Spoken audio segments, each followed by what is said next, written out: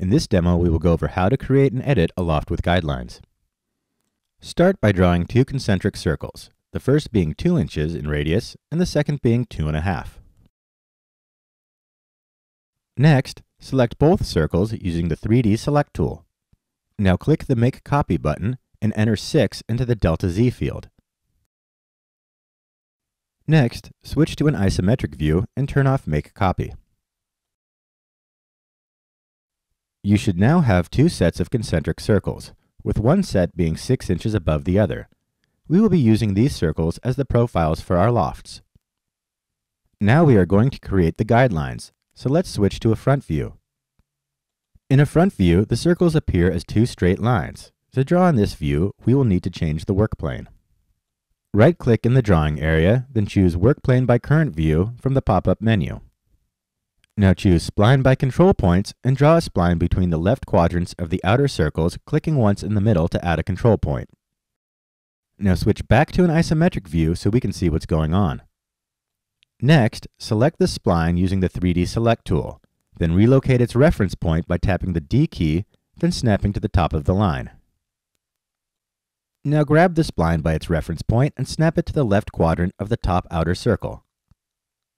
Next, click the Make Copy button. Now grab the spline by its reference point and snap to the left and right quadrants of the top circles, creating a total of four splines. Once finished, be sure to turn off Make Copy. Let's examine the entities and make sure all the splines are connecting the top and bottom circles. Now we are going to be creating our lofts. Let's start with the inner circles. Choose the Loft tool and make sure Compound Profile is checked. Next, select the top then bottom circles. When both circles are highlighted, check the Guidelines option in the Local menu or Inspector bar. Now choose the splines that connect the circles you have selected.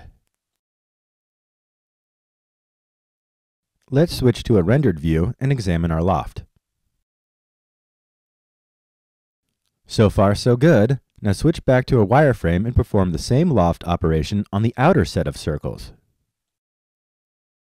Select the circles, then the guidelines, then finish.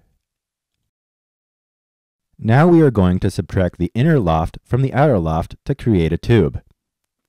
Before performing the subtract, let's first check and see that Create Editing History is checked under ACIS Options. Choose the Subtract tool. Then first select the outer loft, then the inner loft. Let's change the color of our 3D object to cornflower blue, then examine the model in Draft Render. Now we can have fun editing the splines to deform our tube. Switch to a wireframe and choose the Edit tool.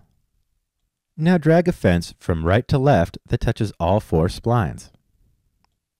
Next, drag a fence around the center nodes of all four splines. You can now reshape the tube by moving these nodes around. You can also edit each spline independently to create even more interesting shapes.